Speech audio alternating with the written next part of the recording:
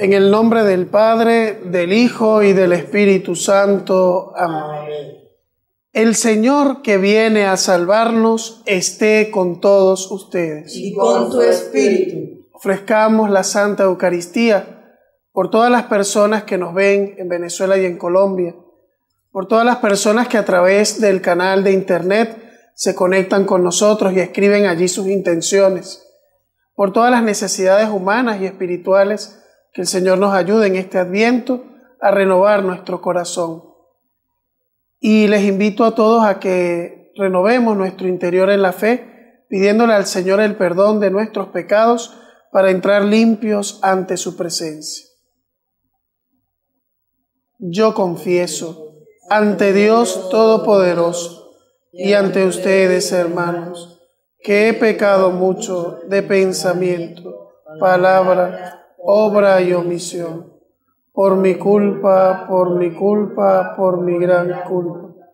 Por eso ruego a Santa María siempre, a los ángeles, a los santos y a ustedes, hermanos, que intercedan por mí ante Dios nuestros. Dios Todopoderoso, tenga misericordia de nosotros, que Él perdone nuestros pecados y nos lleve a la vida eterna.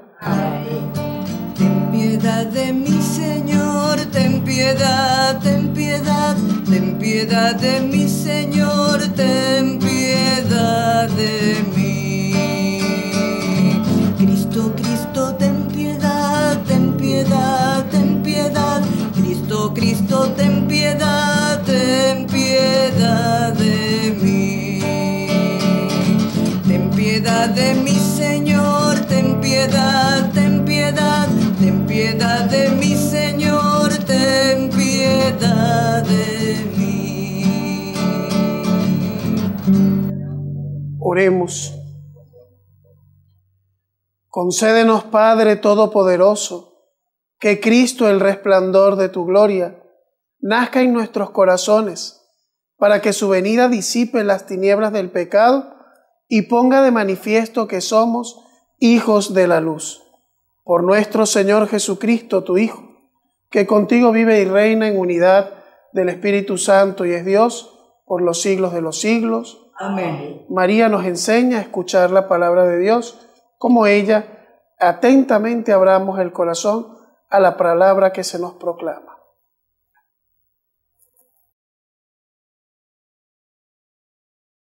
Lectura del libro del eclesiástico. En aquel tiempo surgió Elías, un profeta de fuego. Su palabra quemaba como una llama. Él hizo caer sobre los israelitas el hambre y con celo los diezmó. En el nombre del Señor cerró las compuertas del cielo e hizo que descendiera tres veces fuego de lo alto. Qué glorioso eres, Elías, por tus prodigios. ¿Quién puede jactarse de ser igual a ti?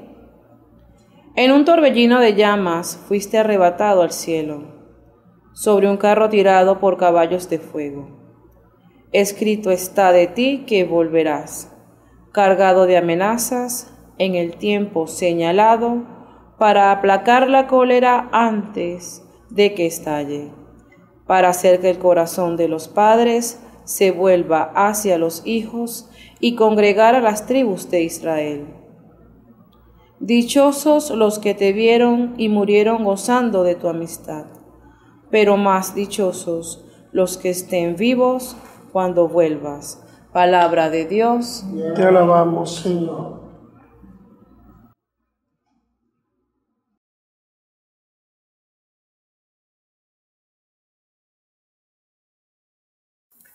Ven, Señor, a salvarnos.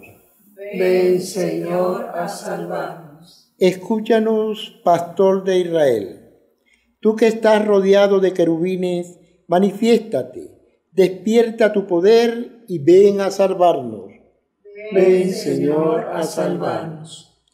Señor Dios de los ejércitos, vuelve tus ojos, mira tu viña y visítala protege la cepa plantada por tu mano, el renuevo que tú mismo cultivaste. Ven, Señor, a salvarnos.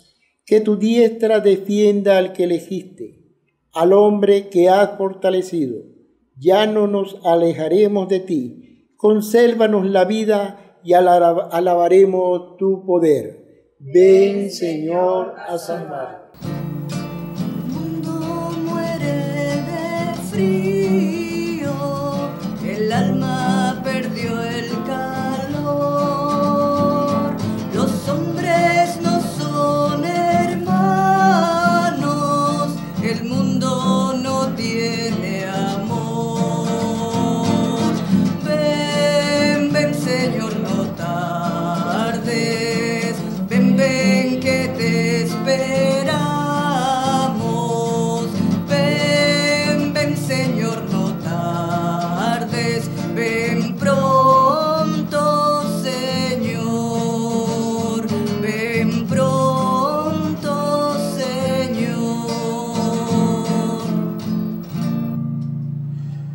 El Señor esté con ustedes. Con su espíritu. Anuncio del Santo Evangelio según San Mateo. Gloria a ti, Señor. En aquel tiempo, los discípulos le preguntaron a Jesús, ¿por qué dicen los escribas que primero tiene que venir Elías? Él les respondió, ciertamente Elías ha de venir y lo pondrá todo en orden. Es más, yo les aseguro a ustedes que Elías ha venido ya, pero no lo reconocieron e hicieron con él cuanto les vino en gana. Del mismo modo el Hijo del Hombre va a padecer a manos de ellos. Entonces entendieron los discípulos que les hablaba de Juan el Bautista. Palabra del Señor. Gloria a ti, Señor Jesús. Mis queridos hermanos, en el Señor el tiempo de Adviento es el tiempo de la realización de las promesas de Dios. Dios había prometido un Salvador ya desde los inicios de la historia eh, humana, cuando la humanidad cayó en el pecado, ya Dios mismo había pensado en cómo remediar ese pecado con su salvación. Y nos habla hoy el Evangelio del profeta Elías, un profeta prodigioso, en la presencia de Dios, que en el Antiguo Testamento es muy notable su acción profética, pues además de ser un símbolo importante de esa institución que son los profetas, que recuerdo, ¿quiénes eran los profetas en el Antiguo Testamento? Aquellos puestos por Dios para recordarle a sus fieles, a sus hijos, la alianza. Los profetas estaban continuamente recordándole al pueblo lo importante que era permanecer fieles a la alianza de Dios. Y además eran aquellos que anunciaban y denunciaban. Anunciaban venidas de tiempos nuevos, anunciaban a veces castigos, ¿verdad? Para que el pueblo se arrepintiera y cambiara. Anunciaban la salvación, pero denunciaban también las injusticias. Eso eran los profetas. Y Elías tenía un lugar notable dentro de esa institución del pueblo de Israel. Aparece en el libro de los reyes como portador de la sequía en el país y después también como portador de la lluvia. De él se dice eh, acontecimientos trascendentes como la multiplicación de la harina y el aceite que la viuda comparte con él para hacer un pan. Y también se habla de que su subida al cielo se dio en un torbellino de fuego, como para resaltarnos lo importante que era este, este profeta. Pues antes de, de la venida de los tiempos mesiánicos estaba anunciado la llegada de un Elías que iba a venir con poder a anunciar, a preparar la llegada del Salvador. Y les preguntan los escribas, ¿por qué tiene primero que venir Elías? Y dice Jesús, ciertamente Elías ha venido ya, pero no lo reconocieron e hicieron cuanto con él les dio la gana. ¿Cuántas veces hacemos nosotros lo que nos da la gana con el mensaje de Dios? Es decir, tenemos alrededor nuestro personas que nos anuncian, que nos advierten, que nos llaman la atención para que nosotros no caigamos en el mal y en el pecado y nosotros pues nos hacemos de los oídos sordos. Y después vienen los arrepentimientos. Ay, si yo hubiese hecho caso, si yo hubiese escuchado ese consejo, ay, si yo hubiese obedecido a Dios. ¿Cuántos Elías hay en nuestra sociedad actual? ¿Cuánta gente buena que a pesar de, pues, de sus miserias humanas, de sus pecados que todos los tenemos, están al servicio de Dios como grandes profetas? Nosotros podemos decir que el Papa Francisco es un gran profeta. ¿Cuántas advertencias no le ha hecho a la humanidad? ¿Cuántos llamados a la paz? ¿Cuántos llamados a la reconciliación? De parte de los receptores está el aceptar o no esa llamada de Dios, esa advertencia que nos da a través de sus profetas. El nuevo Elías fue Juan el Bautista, que habló con mucha claridad y muchas veces la claridad nos trae problemas.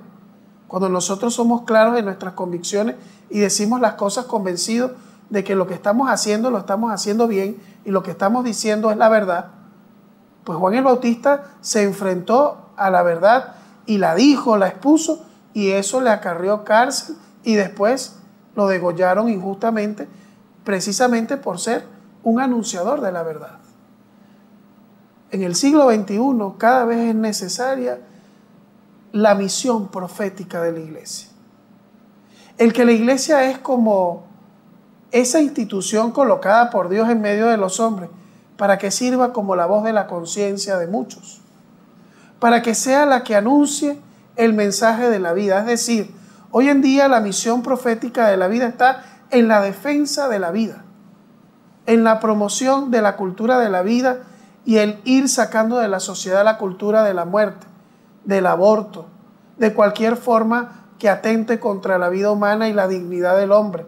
Y eso le trae enemigos a la iglesia porque su misión profética no es fácil, pero la iglesia lo tiene que cumplir.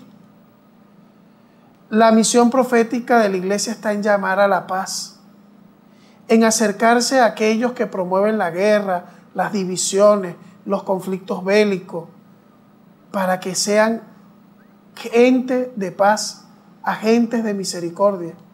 Y ese llamado de la iglesia muchas veces es incómodo la iglesia es profeta hoy en día llamando a la dignidad y a la igualdad de los hombres, de que nadie es más que nadie, de que no puede haber segregación social por condiciones políticas, sociales o religiosas.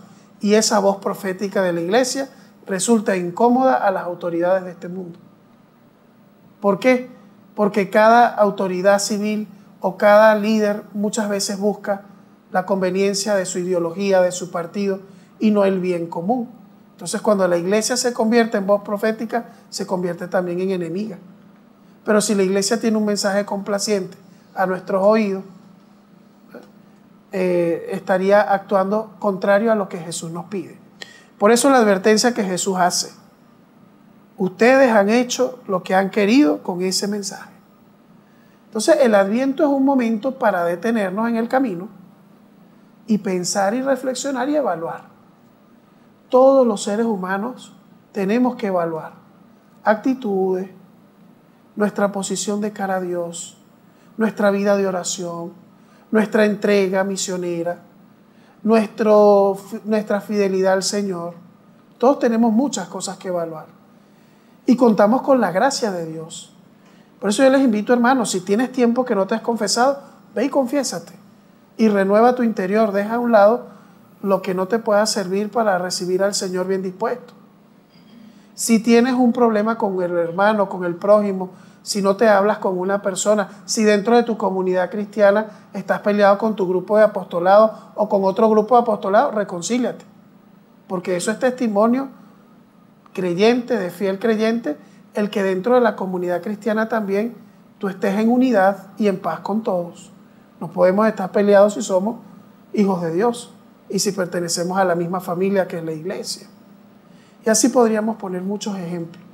El tiempo de Adviento es para cortar lo que no sirve, para preparar, para allanar el camino, para que la Navidad no sea la misma de todos los años, sino que sea un momento donde Jesús nazca y renazca en nuestro corazón. El mejor pesebre para el niño Dios no es el que hacemos en la casa, que es muy importante hacerlo, sino el que está en nuestro corazón, porque Jesús viene a nacer espiritualmente. La Navidad y el Adviento son tiempos de espiritualidad, son tiempos espirituales para renovarnos interiormente. Entonces Jesús viene a nacer en tu corazón. Ábrele el corazón, limpia tu corazón, sana tu corazón para que el Señor encuentre un lugar digno, bien dispuesto para renacer en esta Navidad. María es la que mejor nos puede ayudar a eso. Fue la que vivió el primer adviento, fue la que tuvo la esperanza de querer ver a su niño, de recibirlo con alegría. Lo sintió crecer en su vientre nueve meses. Ella es la madre del adviento, la madre de la esperanza. Que Santa María de Guadalupe, a quien festejamos en este mes de manera especial, la madre que une a todos los pueblos de América Latina, que se ha presentado con un rostro como el nuestro, nos conceda esa gracia de vivir el adviento como la nueva oportunidad que Dios nos da para renovarnos interiormente, para cambiar el corazón, para sacar de él lo que nos sirva y para renovarnos en el Señor y ser hombres y mujeres nuevos al servicio del reino de Dios. Que así sea. Amén. Mientras esperamos la venida del Salvador, oremos hermanos al Padre por nosotros y por todos los hombres, y a cada petición respondemos, ven Señor Jesús. Ven Señor Jesús.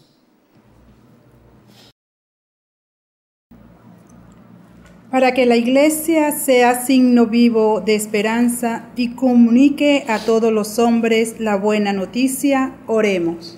Ven Señor Jesús. Para que los que gobiernan las naciones trabajen para eliminar las injusticias, las guerras y toda forma de violencia y terrorismo, oremos. Ven Señor Jesús.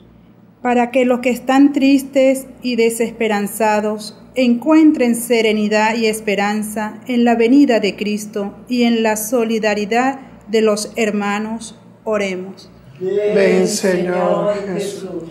Para que todos los cristianos, sobre todo en los días de la Navidad, nos esforcemos por ser portadores de la alegría y paz en el ambiente en que vivimos, oremos. Ven Señor Jesús. Pidamos a Dios el aumento de vocaciones sacerdotales, religiosas, misioneras y laicales, que cada vez sean más los que atiendan el llamado que Dios nos hace a servirle en su reino. Oremos al Señor. Ven Señor Jesús. Oramos por la salud y las intenciones de la señorita Sikun Hussein, que recientemente celebró su cumpleaños. Que el Señor le colme de bendiciones y de paz. Oremos al Señor. Ven Señor Jesús. Oramos por todos los pueblos de América, especialmente por Venezuela, por Colombia, por nuestras naciones hermanas que sufren a causa de cualquier mal. Que el Señor en esta Navidad nos traiga la paz, nos traiga la esperanza, la alegría, la reconciliación, el progreso a todas nuestras naciones de América. Oremos al Señor. Ven Señor Jesús.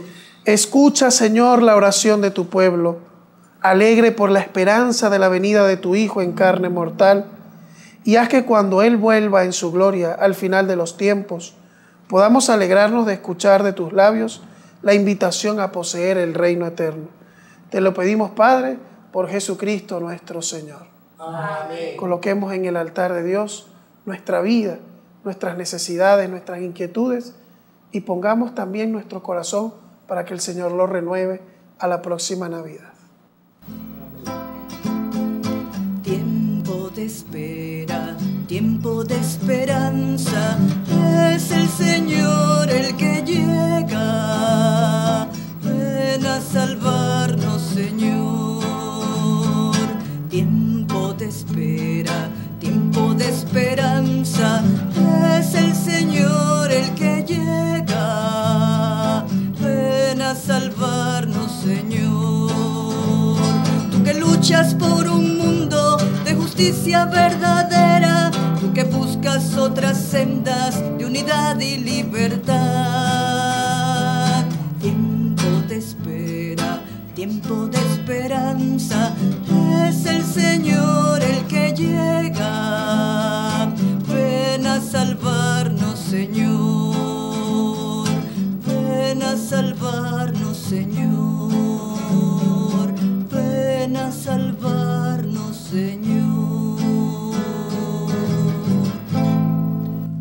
Oren conmigo, mis hermanos, para que este sacrificio mío y de ustedes sea agradable a Dios Padre Todopoderoso. El Señor reciba de tus manos este sacrificio para alabanza y gloria de su nombre, para nuestro bien y el de toda su santa iglesia. Te pedimos, Señor, que este sacrificio, signo de nuestra total entrega a ti, te sea ofrecido siempre para que realice la intención que tuviste al instituir este sacramento y lleve a cabo plenamente en nosotros tu salvación.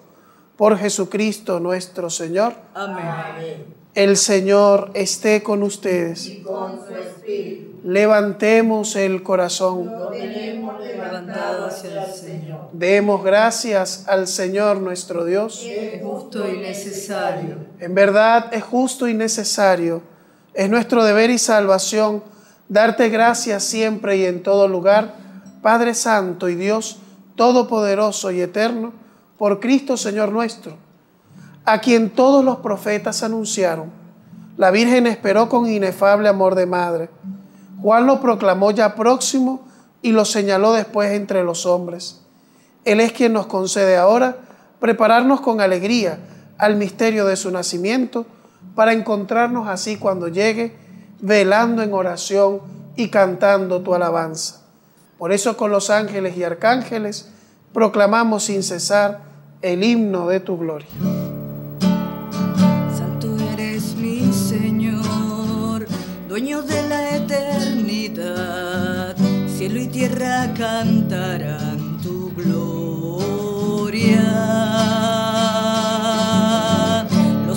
Ángeles y profetas te proclaman en su gloria y en la tierra tus criaturas te repiten sin cesar. Bendito el que viene en el nombre del Señor.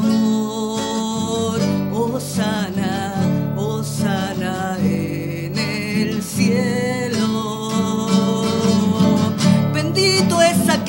viene en el nombre del Señor. Oh sana, oh sana en el cielo.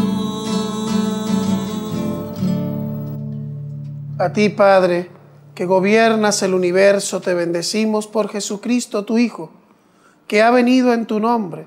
Él es la palabra que nos salva, la mano que tiendes a los pecadores y el camino que nos conduce a la paz. Dios y Padre nuestro, nos habíamos apartado de ti, pero nos has reconciliado por tu Hijo Jesucristo, a quien entregaste a la muerte para que nos convirtiéramos a tu amor y nos amáramos unos a los otros. Por eso celebrando este misterio de reconciliación que Cristo nos trajo, te pedimos que santifiques con el rocío de tu Espíritu estos dones, de manera que se conviertan en el cuerpo y la sangre de tu Hijo mientras cumplimos su mandato. Porque Él mismo, cuando iba a entregar su vida por nuestra liberación, estando sentado a la mesa, tomó pan en sus manos, lo partió y se los dio, diciéndoles, tomen y coman todos de él, porque esto es mi cuerpo, que será entregado por ustedes.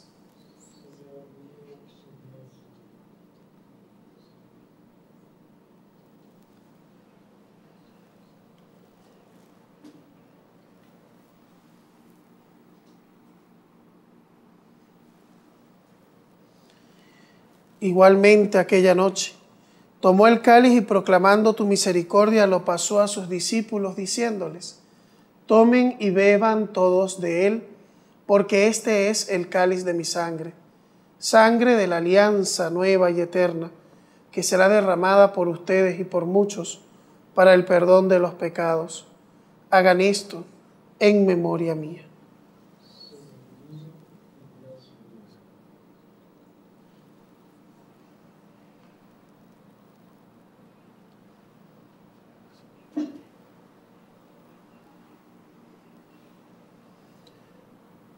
Este es el sacramento de nuestra fe.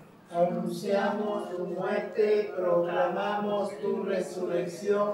Ven, Señor Jesús. Señor y Dios nuestro, tu Hijo nos dejó esta prenda.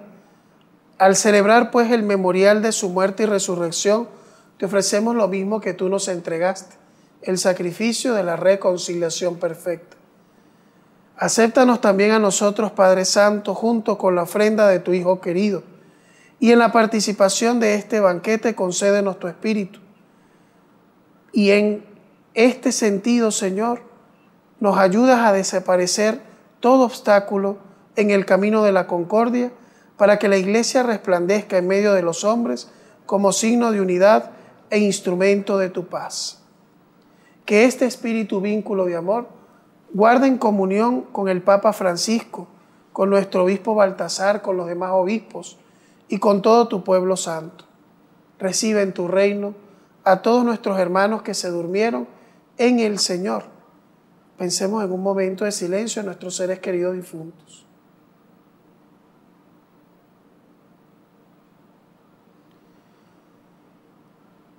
Y todos los demás difuntos cuya fe solo tú conociste, así como nos has reunido aquí en torno a la mesa de tu Hijo, unidos con María, la Virgen Madre de Dios, con San José, con todos los santos, reúne también a los hombres de cualquier clase y condición, de toda raza y de toda lengua, en el banquete de la unidad eterna, en un mundo nuevo donde brille la plenitud de tu paz. Por Cristo Señor nuestro. Por Cristo, con Él y en Él, a ti Dios Padre Omnipotente, en la unidad del Espíritu Santo, todo honor y toda gloria por los siglos de los siglos. Amén. Agradezcamos al Señor su amor por nosotros, con la plegaria que Cristo cuando estuvo en la tierra nos enseñó. Padre nuestro que estás en el cielo, santificado sea tu nombre. Venga a nosotros tu reino. Hágase tu voluntad en la tierra como en el cielo. Danos hoy nuestro pan de cada día. Perdona nuestras ofensas, como también nosotros perdonamos a los que nos ofenden. No nos dejes caer en la tentación y líbranos del mal. Líbranos, Padre Santo, de todos los males.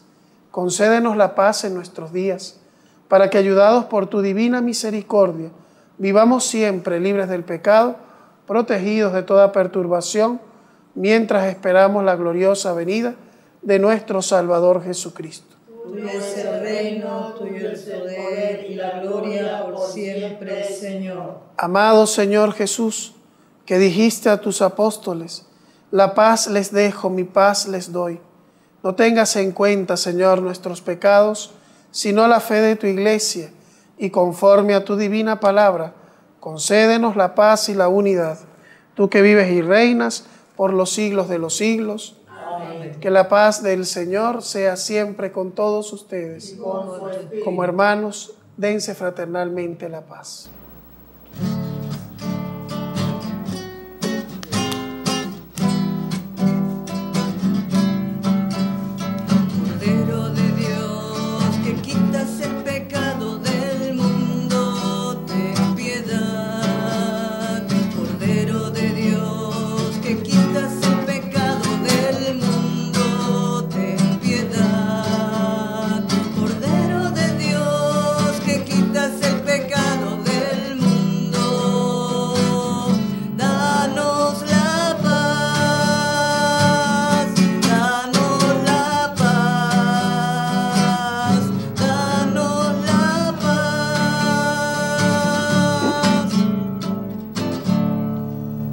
Hermanos, aquí está Cristo, el Cordero de Dios, que quita el pecado del mundo. Dichosos los invitados a la cena del Señor. Señor, no de que entres en mi casa, pero una palabra tuya bastará para sanar. Que el cuerpo y la sangre de nuestro Señor Jesucristo nos guarden para la vida eterna. Amén.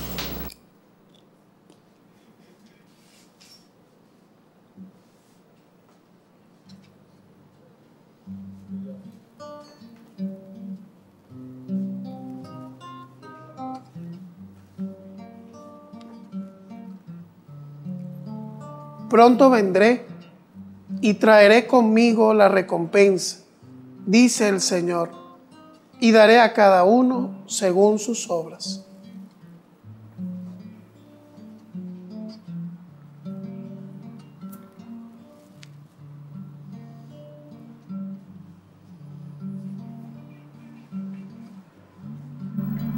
El cuerpo de Cristo. El cuerpo de Cristo. El cuerpo de Cristo. Amén. Jesús, mi Señor y Redentor, confío firmemente que estás aquí, que me ves y que me oyes. Te adoro, Señor, con profunda reverencia. Te pido perdón de mis pecados y la gracia para vivir con frutos este momento de oración. Madre mía Inmaculada, San José, patrón de la Iglesia, Ángel de la Guarda, rueguen e intercedan por mí. Quédate, Señor, conmigo. Has venido a visitarme como Padre y como amigo.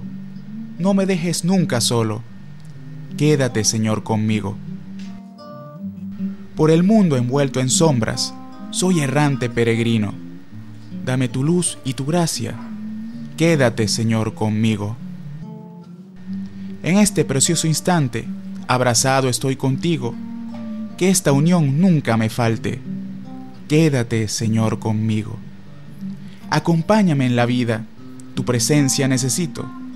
Sin ti desfallezco y caigo. Quédate, Señor, conmigo. Cuando decline ya la tarde de mi vida, vaya corriendo hacia ti como un río, al hondo mar de la muerte, para resucitar contigo. Quédate, Señor, conmigo.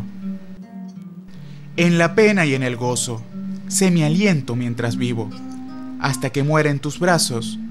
Quédate, Señor, conmigo. Oremos.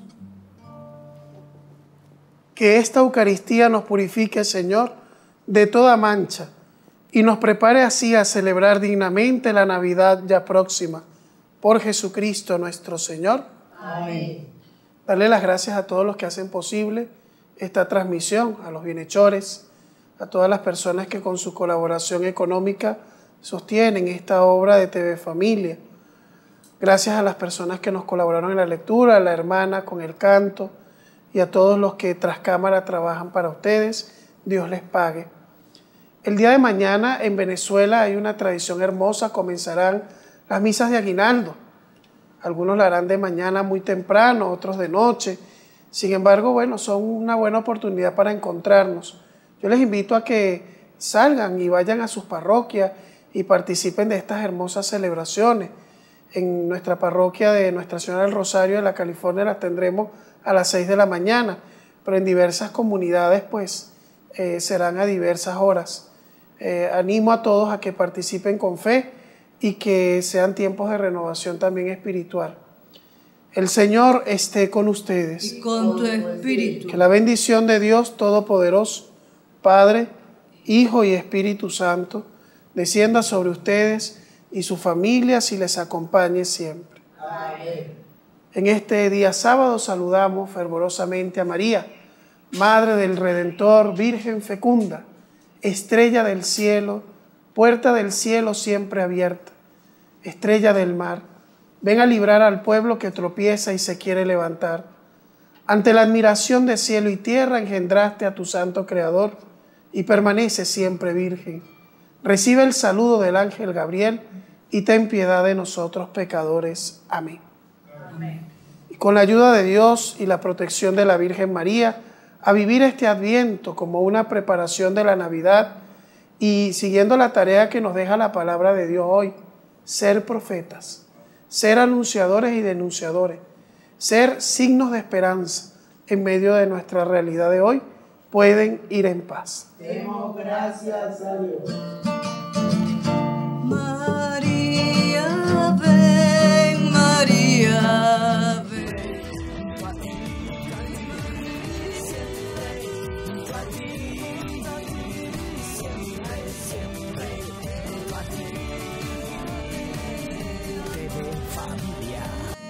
¿Cómo le amaste tú?